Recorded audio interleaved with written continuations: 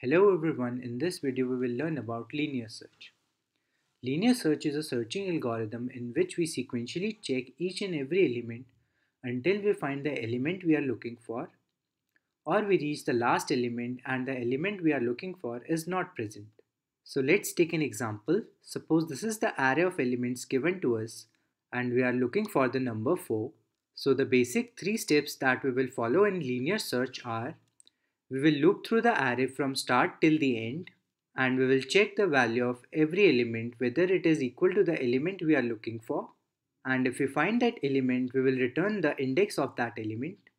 Otherwise, if we reach the end of the array, it would simply mean that the element is not found. So let's actually do this.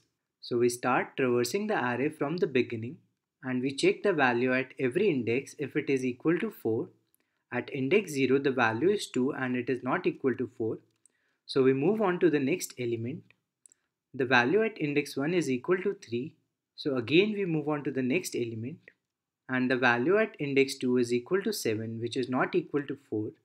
So again we move on to the next element. And now the value at index 3 is equal to 4 which is the element we were looking for. So we will simply say that 4 is found at index 3. So let's implement this using C++. So we start our linear search function which takes the argument an array of integers a, integer n which is the size of the array or the number of elements and an integer e which is the element to be searched. And if the element e is found in the array a, our function returns its index, otherwise it returns minus 1. So firstly we declare two variables i and index and we initialize index to minus 1. Then we start our for loop using which we traverse the array A from index 0 to index n minus 1 and at every index we check if the value of the element at index i is equal to the value of e. Then we store the index of the element in the variable index and we break out of the loop.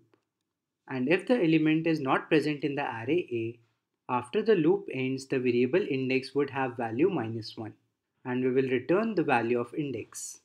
That was all for this video. Thank you for watching.